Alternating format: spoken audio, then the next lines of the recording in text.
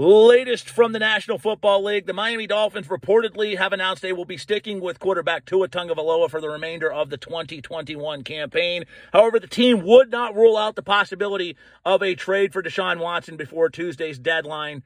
What we do know at this point is that the two teams have reached a agreement in principle. They've laid the baseline of what's going to happen. Uh, reportedly, it's three first rounders going to Houston for Watson, uh, which considering the, the, Texans turned down three first, uh, a second, and two thirds not that long ago, I guess this is a moral victory for Miami. I mean, they're, they're not exactly giving away a, a small bag of Skittles to a trick or treater, but, you know, that's three first, but I guess it could have been worse. Uh, but we do know Stephen Ross also wants the legal issues that Watson is facing to more or less be settled before a deal is made. Um, Watson has had some kickback to that because he feels like a settlement would be an omission of guilt. Um, but he may have softened on that stance. We know he wants to go to Miami. Um, so what what I'm suspecting, and this is just spit spitballing here, just uh, taking a stab in the dark, because I really don't have a clue what the fuck the Dolphins are doing. I haven't for a long time. Uh, but my speculation is they're going to trade for Watson. They're going to allow him to take the remainder of the year to get this settlement under control and to get this these these 22 civil suits taken care of, and, and then roll with them in 2022 and hope that Tua drives his trade value up. Um, there's the other side of that coin. What if Tua continues to develop and look like he has the last two weeks where he's put up some productive numbers? And, you know, I know the Dolphins have lost them both. And I know they were against two shitty defenses, but what if Tua continues to play at that level and turns out to be the quarterback everybody thought he was going to be uh, coming out of Alabama? I guess that's a risk you're willing to take. And if that does happen and he starts showing he's at Tua, I guess you could probably get a low first for him rather than a second and, you know, some other throw in pieces.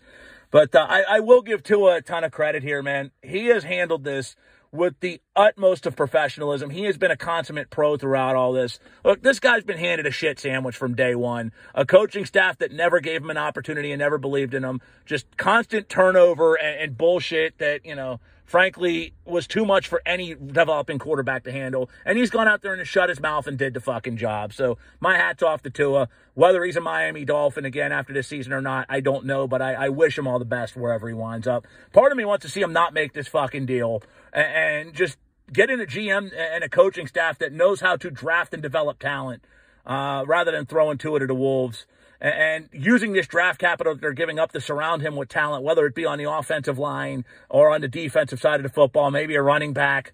Uh, you know, I'd love to see that. I, I just, I don't think it's going to happen. And I know there's a lot of risk with Tua still with the injury history. And frankly, Deshaun Watson is who everybody hopes Tua becomes as a football player. So who knows what's going to happen from there. Uh, other side of the coin, the city of St. Louis reportedly could receive up to $10 billion in a winning lawsuit against the National Football League. It looks more and more likely they're going to win this lawsuit. So bank on this. Mark my words.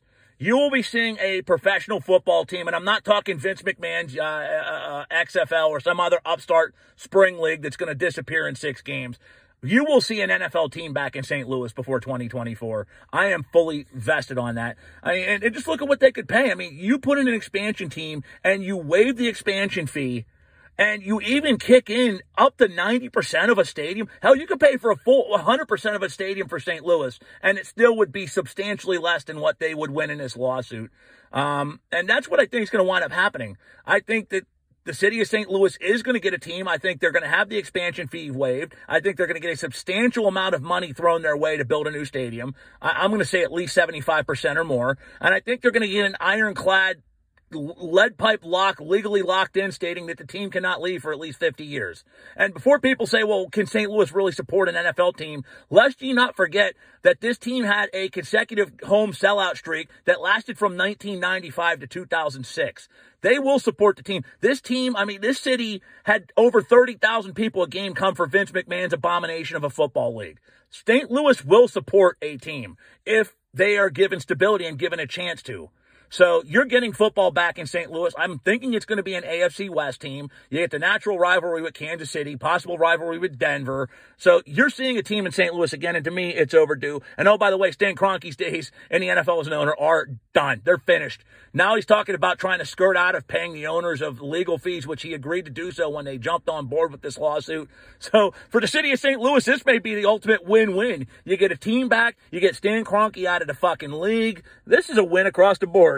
Anyway, that wraps it up for this, folks. I will talk to you again soon with more news, rumors, and rants. Take it easy.